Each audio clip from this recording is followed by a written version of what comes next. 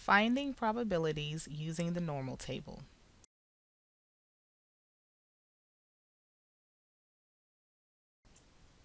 For example, Ms. Brown wanted to know if take-home tests would result in higher exam scores than traditional in-class tests. The test scores resulted in a mean of 81 and a standard deviation of 6.02. What is the probability that a student scored higher than or equal to 99.06? For this example, we're trying to find the probability that a student scored greater than or equal to 99.06. So using notation, we're trying to find the probability that x is greater than or equal to 99.06. To find the probability, we're going to first convert x to a z-score and then use the normal table to find the probabilities. So recall the z-score formula is the following. So we have x minus x bar over s.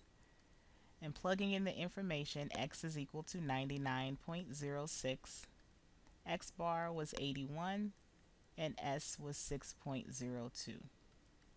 And we obtain a value of 3. So we've converted x being greater than or equal to 99.06 to a z so we're now trying to find the probability that z is greater than or equal to 3. So using this information along with the normal table, we can now find the probability. So we're trying to find the probability that z is greater than or equal to 3. So again, I'm going to draw this out to show how it looks on the scale. Again, I'm going to count out 1, 2, 3 standard deviations to the right and 1, 2, 3 standard deviations to the left. In z being greater than or equal to 3 is located here and shaded in this direction. So using the table, I'm going to go to 3 and I find that its corresponding probability is 0.9987.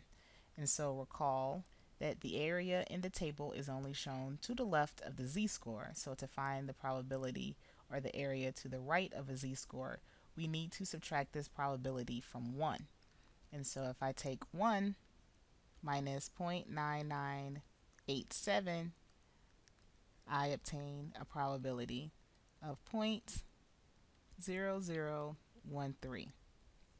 And thus the probability that a student scored greater than or equal to 99.06 is 0.0013.